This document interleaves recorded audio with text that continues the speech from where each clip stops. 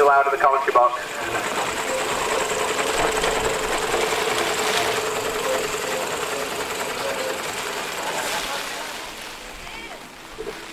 Now there's Richard, uh, back at the whole side of there, uh, doing his best for the Teresa impression, uh, trying to just uh, shield himself from, from, from the inclement weather. Now normally we open the arena up for a few minutes uh, to let you uh, get up close and personal with the steam engine. So if it's with our drivers and if they don't mind stood out there for a few minutes longer, uh, it would be great if we could let the public uh, join in. Uh, so it doesn't look to be too much uh, in the way of, uh, of our drivers saying not to stand. So we are going to open the arena for a few minutes, so please feel free to... Now all our tractor drivers are just breathing a sigh of relief as they have returned back to their stationary positions just in time for the heavens to open. Now we are hoping to get large steam into the arena at quarter past 12. Uh, so if you can hear us in the large steam section, quarter past 12, uh, it would be great to see you in the arena.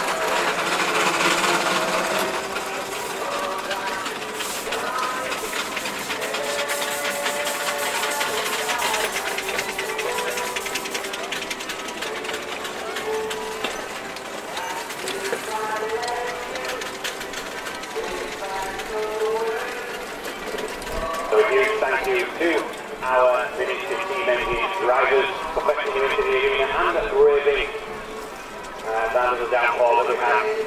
Hopefully that's it. We've just checked the weather forecast and that wasn't actually predicted. It was that bit of a rain blast. So we're hoping the sun is going to prevail for the rest of the day. Now we're going to send you boy down to uh, see whether we're going to manage to get steam into the arena.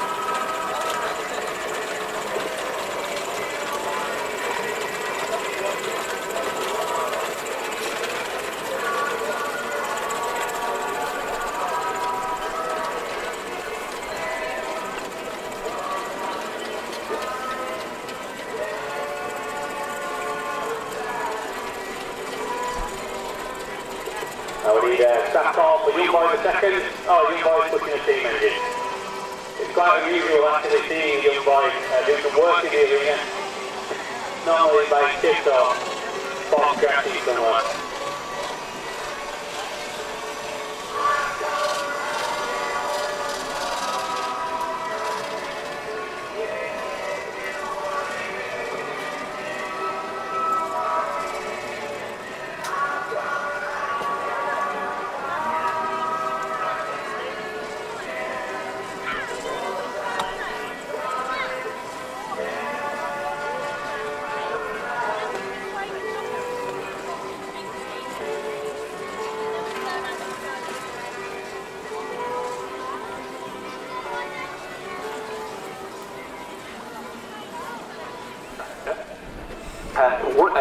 A uh, steam engine.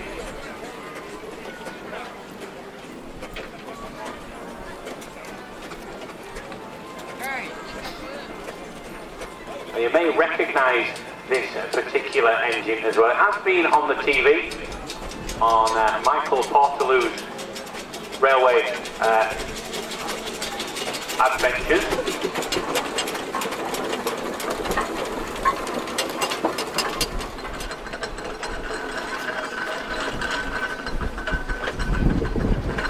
Now the engine Victoria is known as a general purpose.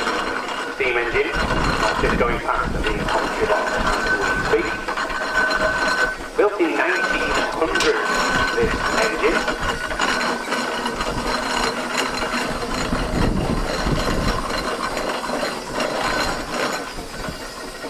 Celebrate 119th birthday.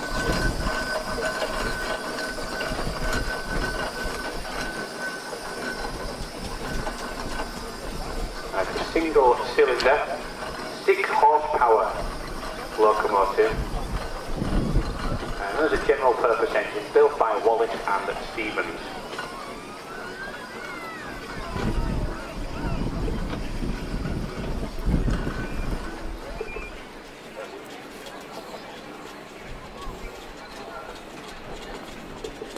Now we must stress uh, that there must be no vehicle movement on site uh, unless you are coming to or from the arena or you are emergency vehicle staff. So no vehicle movement, a horse-drawn plough would have done the job and then these massive iron brutes would have come into play uh, the contractors and done all the ploughing.